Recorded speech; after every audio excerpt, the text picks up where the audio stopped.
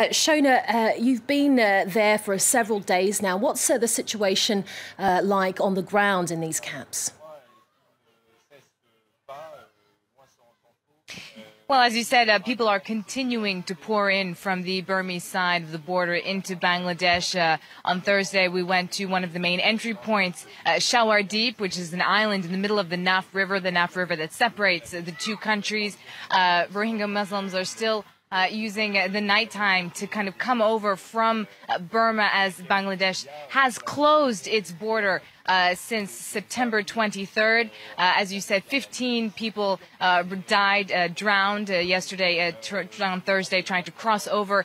Uh, this and 20,000 others, though, are reported to have made it alive.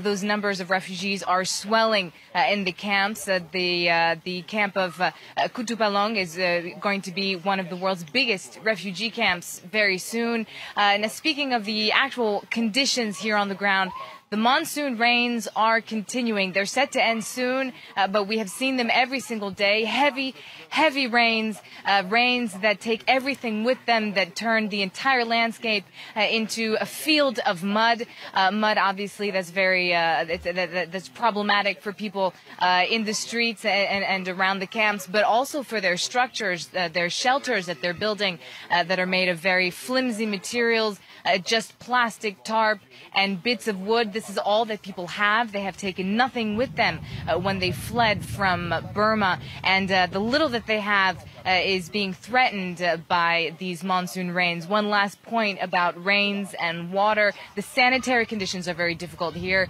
Uh, there are latrines, but clearly not enough. And uh, there are fears of epidemics that might break out any day now.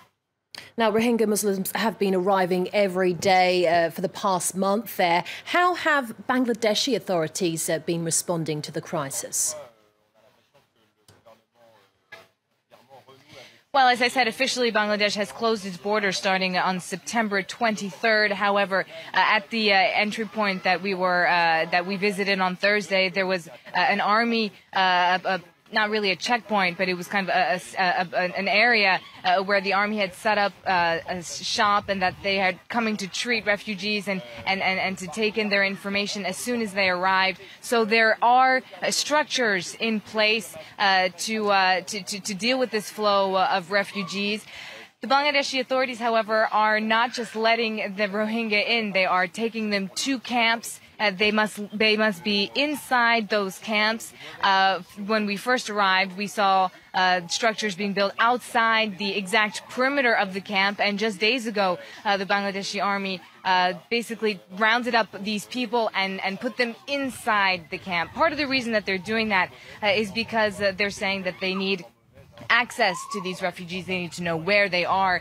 But you must remember that the Rohingya problem is a very old problem here in Bangladesh. In, the, in addition to the 500,000 uh, or so Rohingya Muslims that have just crossed the border in the last month or so, there were already about 400,000 living uh, in Bangladesh. And those uh, Rohingya refugees uh, don't have access to citizenship here. They don't have uh, documentation. Uh, they are confined to older refugee camps, uh, those refugee camps that are still continuing, of course, to exist.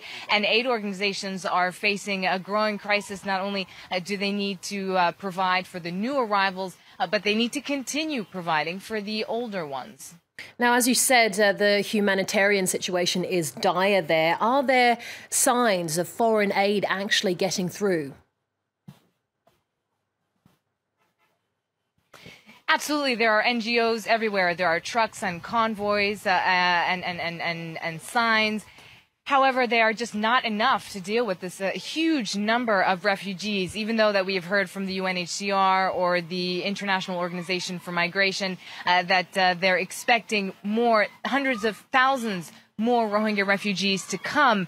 Uh, still, the, the, there are three main problems for aid groups here. The first is access, accessing refugees uh, that are off the beaten track and that are off uh, roads and that they that are hard to get to, uh, that are setting up uh, setting up their structures in the jungle or, or in places that, that are that are kind of hidden uh, hidden just simply because they're afraid and, and they don't want to, to be known uh, to Bangladeshi authorities. That's the first problem. The second problem is that these aid groups are uh, obliged to recruit locally. And unfortunately, uh, a lot of people here don't have the skills or the training uh, yet, at least, to deal with this massive influx uh, and to provide this distribution, again, distribution of food, but also distribution of things like solar lamps, uh, distribution uh, uh, of clothing, uh, things like that. And then the third major problem, uh, of course, is the monsoon, as I spoke about earlier. Um, now, the, the international aid groups are keeping up their efforts, uh, but they're clearly lagging behind the thousands of people that are arriving